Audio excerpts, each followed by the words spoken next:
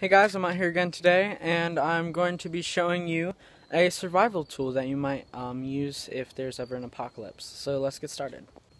Okay, so if you're ever in a survival situation and it's at night, or if you need light in some situation, uh, I actually just realized I need to get a lighter, so I will be right back. Okay guys, I'm back, and I actually switched things up a little bit because my lighter's not working, and so I've got matches instead, and um, I needed something to prop up my camera, so I came up here to this table. So hopefully these matches are enough, but, so today we got this, um, uh, crayon, and basically what you're going to do first is, this is, I have to use a couple matches, that's why I'm hoping this will work, um, I'm gonna, the match broke, wow. I need to conserve these here, and the first time I used it, it broke. Okay, so we're gonna try this again. You're gonna light it up. You're gonna melt the candle wax and let some of it drip onto the um, plate. Yeah, this should be enough. This is melting really nice. Okay, come on, candle. okay, that's enough. So, um, to show you what I got here, I put some uh, wax on there, and then what you're gonna do is you're gonna want to take your um, your uh, candle or your crayon, and you're gonna want to put it in the wax, so it has something to stand up on, just like that. And okay, I have one match left, so hopefully this one will stay lit or not break. Um, and so what you're gonna do is you're gonna light up the paper around the match, or around the. Uh, please don't go out. Come on. There we go. This is why it would work better, excuse my dog by the way, this is why it would work better with a, um, a, um, lighter.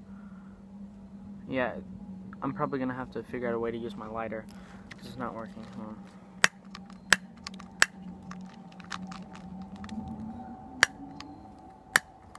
Trying to figure, oh, there we go. Got a flame.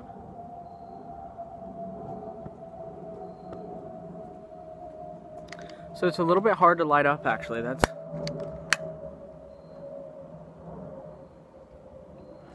The problem is I might have had to melt a little bit more wax on it. But now my lighter's working. So this should start to work in a second here.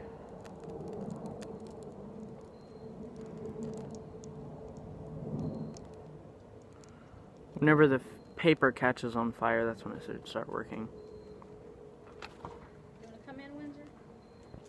Okay, there we go. Now Windsor's not going to be barking too much. Okay, there we go. Okay, so now you have yourself a little candle. And by the looks of it, it's probably going to burn for a while because there's obviously a lot of wax in the candle or the um, crayon. And so basically, if you're needing to read something or you want to keep a little bit of light at night and you have a crayon laying around, then you also have a candle laying around. And um, so I'm, I'm probably actually going to time this to see how long it burns. So yeah, I'll let you know when it gets down. Okay, so um, the wind was blowing really hard and it blew it out. And I think one of the problems is that right up here, it starts to kind of like turn into like this weird, I'm not even sure what you would call it. So I think what you would need to do is you got to take your knife probably, if you have a knife in a survival situation, most of the time you do, and just cut off that little piece. See if I can get more of it. I just don't want to cut myself. There we go. Okay, so once you cut it off, it probably hold on. There's some stuff on my blade now. Whatever, I'll clean that up anyway. But um, or later. But so, if your candle goes out, you'll probably want to reset it by um cutting off that black uh, charred part, I guess. Cause see, then then um it really goes really nice as you can see. So if it's windy outside, although most likely you'll find shelter in a survival situation and you won't be outside, so it probably won't you won't have this problem. There's just a lot of wind right now. But so if your candle burns out, just take a knife and just cut that piece off and you should be better off. Or, you know what, I'm going to try something. I'm going to light it from the bottom and see what it does. Actually, that's probably not a good idea because it'll burn pretty quick because this acts like a wick. Oh, that's really cool. Okay, I'm going to time it again.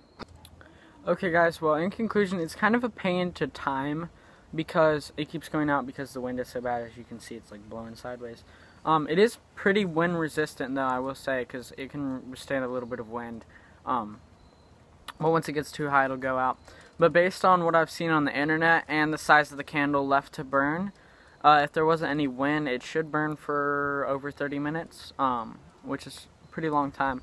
It also produces a good amount of heat. If you want to warm up your hands or you just put your face a little bit close to it, you can warm your face up.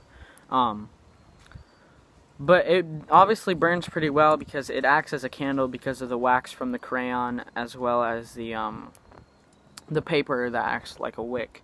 Um, and so basically, um, if it um, goes out because of wind or something, well, probably wind because if, if it went out because of water, you wouldn't be able to relight it because it'd be saturated the, at that point.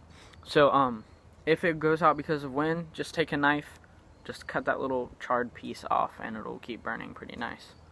Um, as you can see, the flame is pretty high so I'm trying to think of other things you could use it for. You might be able to use it to light up um, a campfire. Um, probably not cook anything. You might be able to, but I don't think it's a strong enough flame. But um, it obviously works. I don't recommend doing this inside though because it does release some black smoke. Um, and you don't want your smoke detectors to go off. But this is a really cool experiment, and I honestly didn't even think it was going to work as well as it's working right now. See, see that black smoke that's coming off of it? You might be able to see it against my hand. But anyway, so yeah, it's a pretty strong flame.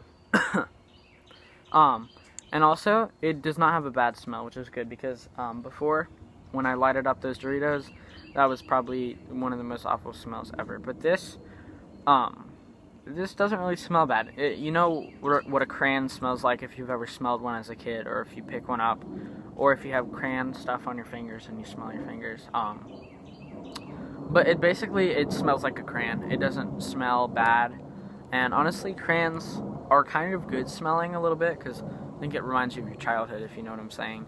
Um, but it smells good. I mean, it's definitely not bad at all. But if it goes out, then all you gotta do, oh gosh, it makes a lot of smoke when it goes out. What you gotta do if it goes out is you gotta just grab it like that and just chop that little piece off and there's a lot of wax all over my knife now. I'll clean that up later. But um, then you just relight it like this. Come on.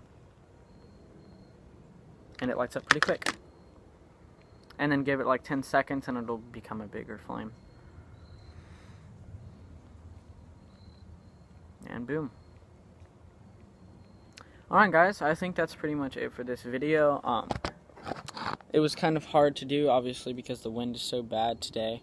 But um, I really like this idea for a survival candle. So uh, let me know if you guys think this is cool. Thumbs up this video, and I will see you guys later. Okay, guys. Actually, one more thing to add. Um, I watched. I sat out here and uh, watched it burn, and it ended up burning for about 30 minutes. So it looks like what they said online was correct. So yeah, this trick really does work.